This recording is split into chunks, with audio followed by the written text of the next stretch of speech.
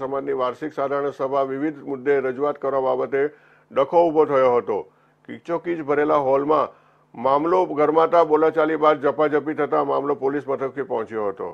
કચ્છમાં પ્રતિષ્ઠિત માનવામાં આવતી કચ્છી લેવા પટેલ સમાજની બેઠકમાં થયેલો વિવાદ, ઝપાઝપી અને મારામારી સુધી પહોંચી જતા સમગ્ર કચ્છમાં આ મુદ્દો ભારે ચર્ચાનો વિષય બન્યો છે. આ ઝપાઝપીના વીડિયો સોશિયલ મીડિયામાં વાયરલ થતા કચ્છી લેવા પટેલ સમાજની પ્રતિષ્ઠા પર લાંછન લાગ્યું છે.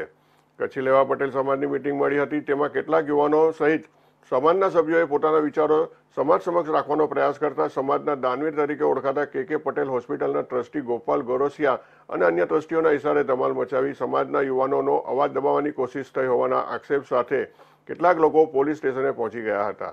પોલીસ સ્ટેશને પહોંચેલા લોકોએ આક્ષેપ કરતા જણાવ્યું કે સમાજના દાતાઓ દેશ વિદેશમાંથી કરોડોના નાણાં દાન પેટે મેળવે છે. પરંતુ વર્તમાન ટ્રસ્ટીઓ દ્વારા ક્યારેય તેનો હિસાબ કિતાબ રજૂ કરવામાં આવતો નથી. આરોપો આક્ષેપો તો એટલા સુધી લગાવવામાં આવ્યા કે કોરોના કાળ દરમિયાન બની બેઠેલા સમાજના સેવાભાવીઓએ મન પાવે તેમ લોકો પાસેથી નાણાં વસૂલ્યા છે. કોરોનાના દર્દીઓ પાસેથી પાંત્રીસોથી પિસ્તાલીસો રૂપિયા રૂમનું ભાડું અને જનરલ સર્જનના બદલે કાન, નાક, ગળા વગેરેના સ્પેશિયલ ડોક્ટરોને રાખીને દર્દીઓ પાસેથી ઊંચા બિલ વસૂલવામાં આવ્યા હોવાનો આક્ષેપ કર્યો છે. બીજો એક મુદ્દો એ પણ સપાટી પર આવ્યો છે કે કે કે પટેલ હોસ્પિટલની તમામ પ્રોપર્ટીને એક વ્યક્તિના નામે કરવામાં આવી આવી છે. એટલું જ નહીં, સમાજના લોકોને ત્રીસ ટકા ડિસ્કાઉન્ટ પણ આપવાની વાત હતી, તેનું પણ પાલન નથી થઈ રહ્યું. કેટલાક યુવાનોએ આવા મુદ્દાઓ ઉજાગર કરવા સમાજની મિટિંગમાં પ્રયાસ કર્યો હતો, પરંતુ ચાલુ મિટિંગમાં જ બબાલ મચી જતા મામલો પોલીસ સ્ટેશન સુધી પહોંચ્યો હતો. આ સમગ્ર બબાલની પાછળ કચ્છી લેવા પટેલ સમાજના આગેવાન અને કે કે પટેલ હોસ્પિટલના ટ્રસ્ટી ગોપાલ ગોરાસિયા અને તેમના મળતિયાઓનો હાથ હોવાનો ખુલ્લો આક્ષેપ કરવામાં આવ્યો છે.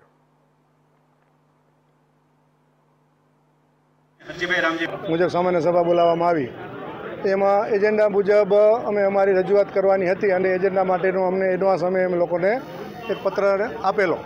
અને અમારી રજૂઆત માટે એમને વિનંતી કરી અને માઇક ઉપર ઊભા બોલવા ઊભા થયા. પ્રી પ્લાન મુજબ એ લોકોએ દર વર્ષે એમ એમની કોઈ પણ ક્ષતિ ઉગાડી ના થાય એમની પોલ ના ખુલે જેના માટે કરીને તૈયાર કરેલા માણસો લાઉડ ઉપર બાઇક ઉપર આવી ગયા અને હાથાપાઈ કરી. ખાસ કરીને શું માંગ હતી શું રજૂઆત? અમારી રજૂઆત હતી સમાજને સ્પર્શતા પ્રશ્નો. દાખલા તરીકે બસો કરોડને ખર્ચે બનાવેલી હોસ્પિટલ છે તો આપણા જ્ઞાતિજનોને ફાયદો શું? જ્ઞાતિજનોને એક રૂપિયાનો ફાયદો કરવામાં આવતો નથી. અત્યારે શાંખ જોગીબાઈ દહીસરાનાને અઢી કરોડથી ત્રણ કરોડ, ત્રણ લાખનું સોરી અઢીથી ત્રણ લાખનું બિલ આપવામાં આવ્યું છે. કોઈ ફાયદો કરવામાં આવ્યો નથી. બીજા બિલમાં દહીસરાના એક ભાઈના ઘરવાળા નથી, લગ્ન કર્યા નથી. અપંગ છે, માનસિક અપંગ છે. કોઈ મકાન નથી, વાડી નથી. એમના પગ એક વખત કાપવામાં આવ્યો, બે વખત કાપવામાં આવ્યો, ત્રણ ત્રણ વખત કાપવામાં આવ્યા પછી અઢી લાખનું બિલ બનાવવામાં આવેલ છે. એ ભાઈએ રિક્વેસ્ટ કરી કે ભાઈ, મારી કોઈ પરિસ્થિતિ નથી. એમના ભાઈએ એ પણ મજૂરી કરે છે. ક્યાંકથી ઉધારા પૈસા લઈને અઢી લાખનું બિલ ચૂક્યું. સમાજ માટે રિક્વેસ્ટ કરી તો રિક્વેસ્ટમાં એક ટ્રસ્ટી એમ કહ્યું તમારી પાસે સો દોઢ લાખ ખોટા લેવાના છે. બીજા ટ્રસ્ટી કે એંસી લાખ એંસી હજાર તમારી પાસેથી ખોટા લેવામાં આવ્યા છે. આવી ગોળ ગોળ વાતો કરી અને લોકોને ભરમાવે છે. સમાજના નાગરિકને એક રૂપિયાની પણ સહાય આપવામાં આવતી નથી. છેલ્લા કેટલા સમયથી આ લોકો ટ્રસ્ટ સાથે જોડાયેલા છે?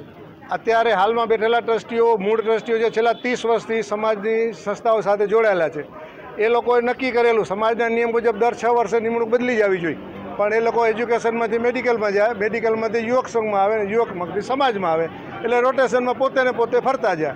તે ઉપરાંત પોતાના સગા સંબંધી મિત્રો પરિવાર પાડોશી ભાગીદાર ગામના એમને જ આપણે નિમણૂકમાં રાખે.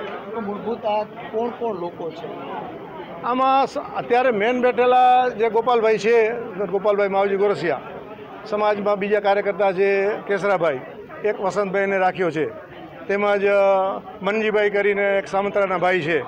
એમ અન્ય બે ત્રણ એક માંડવીના એકાદ ભાઈ છે. એ બધાએ પોતાનો મનમાની વહીવટ કરવા માટે પોતાના મળતિયાઓને કોર કમિટી મારફતે નિમણૂક અપાવે, કોર કમિટી મારફતે ટ્રસ્ટીઓ નિમણાવે અને આવી સામાન્ય સભામાં કોઈ બોલે નહીં, એના માટે કરીને એવા લુખાવને ઊભા કરે.